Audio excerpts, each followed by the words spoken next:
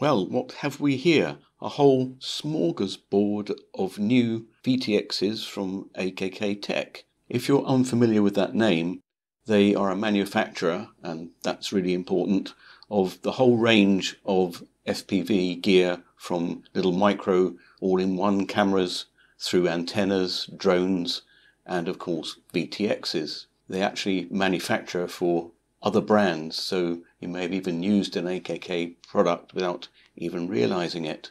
This new range has just been launched then, just this month in February. It is the Alpha 4, 5, 8, and 10, indicating their maximum wattage. And uh, up to 10 watts is uh, quite incredible. They're all the same form factor. And what I'm going to do now is to go through and show you the features of these VTXs and try one out. The module then, as you can probably tell, has a metal casing and on the back there the heatsink even has a built-in fan which is a really nice touch. Another thing that I really like is that it has the SMA female connector there. Now, back in 2019, I reviewed this AKK FX Dominator, and a couple of things that I didn't like. One was that it runs pretty warm, and even the, with the two heat sinks, uh, you need to make sure that you have good airflow over that. And one thing I really didn't like was this MMCX type connector. It's been noted that uh, there is high degree of variability in these little pigtails and as you're going up in power, that's going to be more and more important. So they've moved away from that, which is good news as far as I'm concerned. It has the four mounting holes here, which are on a 30.5 millimeter pitch. The length of the guy is 68 millimeters by 36 wide by 15 tall. The weight coming in at some 48 grams, and that's the same across the whole range, whether it's the 4 watt module or the 10 watt module, the form factor is identical. No surprises on the connector here, 5 volts out, and that's limited to 500 milliamps. Ground video out TBS, which is smart audio, and the power input ground and the power from 12 to 28 volts they actually recommend running it on 6S and the microphone that you can see there. Just a single switch on the side there for configuring it if you're not configuring it via the smart audio and the traditional type of indicator LED there. Also included then is an SMA pigtail that's just a, an extension, or obviously you can connect your antenna directly to the top of the unit there. And the traditional type cable plugs in like so. The power leads are doubled up and it's stressed that you should keep those doubled up and clearly both soldered to the positive and negative supply. No surprises then in the manual there just the description of the parts that I've just gone over and a warning not to power the device up without an antenna connected. That's uh, common sense, especially running at these relatively high powers. And do not remove the heatsink. I don't think I'm going to.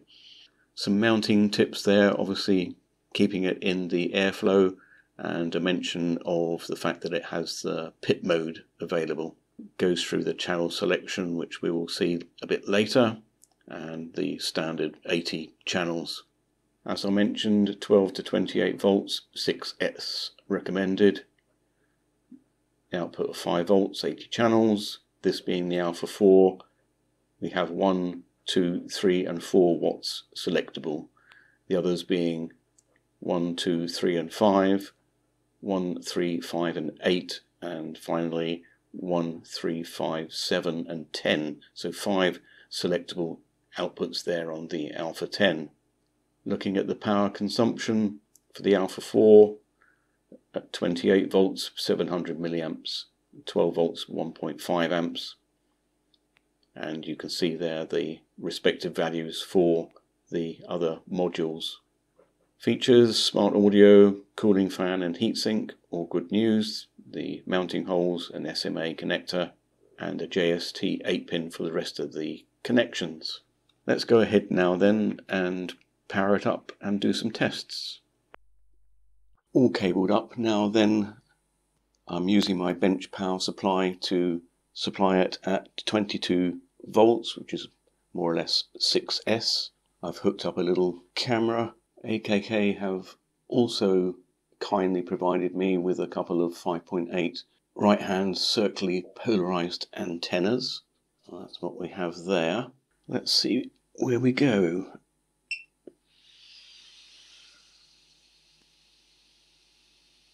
I don't know if you noticed, but it took a little while to ramp up and stabilize at around about 290 milliamps. And on the display here, we've got R1 and a flashing one. So that's race band, channel 1 and 1 watt. To set the thing up then when not using the smart audio, we can simply press and hold the button briefly and that will change the channel. So for example, we want to be on channel 6, then we just leave it.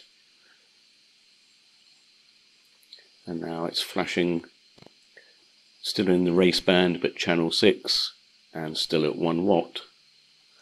Now if we hold the button in for a little bit longer until we get the R flashing we can change the band. So for example, can leave it on E.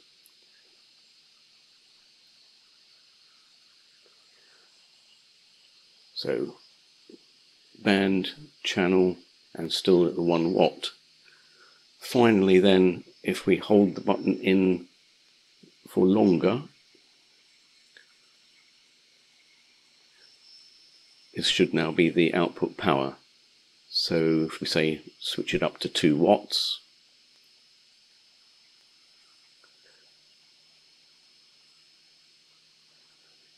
there's the confirmation then the band E, channel 6 and 2 watts. All is good. What I've done now then is to hook up my little power meter. Now this on its own can only measure up to a watt so I've had to put in a little attenuator, 3 dBs there, and you reconfigure the power meter to account for that and connect it obviously directly.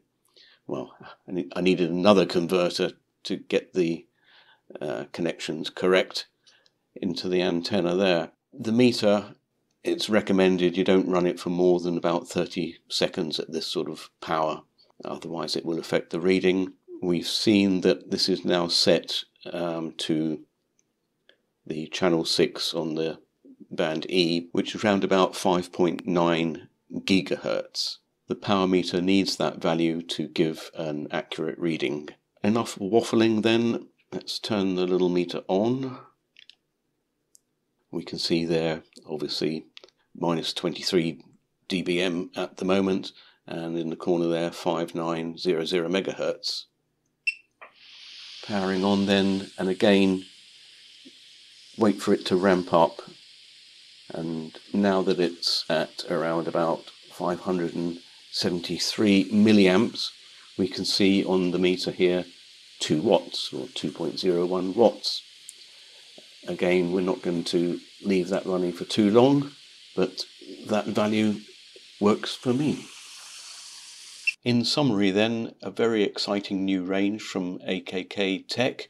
I'm currently waiting for a new 10 dB attenuator so that I can test the higher powers. And the weather's rotten right now and not suitable for flying, so hopefully by the time I have that, I'll make a new video giving some examples of it in use.